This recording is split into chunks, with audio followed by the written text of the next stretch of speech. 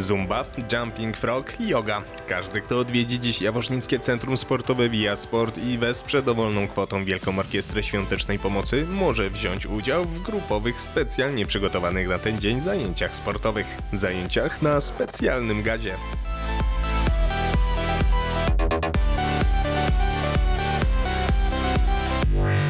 Wszystkie dzisiejsze treningi i klub e, jest otwarty dla Was. Jak tylko wejdziecie i wrzucicie do puszki jakiś grosik, klub działa dla Was. Także zapraszamy.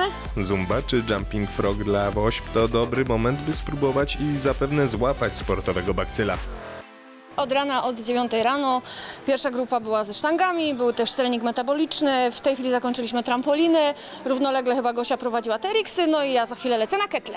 Jak podkreślają trenerzy, to zdecydowanie więcej niż sam sport. To podsycana muzyką energia na sali, uśmiech i można zapomnieć o troskach. Zumba jest to połączenie elementów fitness z tańcami latynoamerykańskimi, ale przede wszystkim to jest dobra zabawa, mnóstwo energii, mnóstwo spalonych kalorii.